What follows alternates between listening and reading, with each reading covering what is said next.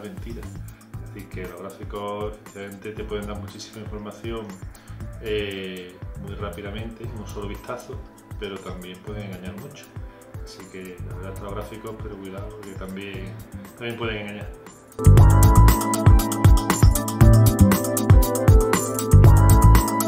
Pues será porque no lo has aplicado.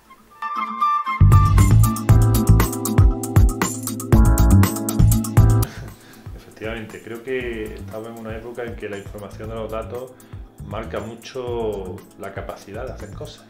Precisamente por eso también hay mucha desinformación y que hay que contrarrestar.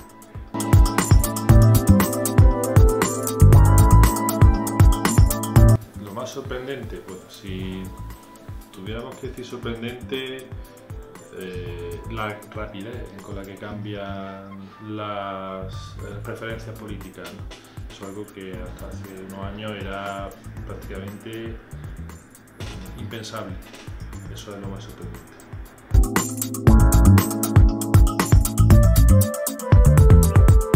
Lo más grave, muy claramente, es la falta de participación de la gente con menos recursos en Andalucía y por extensión en España. Esto ya se viene dando, pero está cayendo a un, nivel extremo, lo cual creo que es muy grave porque al final acaban decidiendo solo determinadas capas de la población.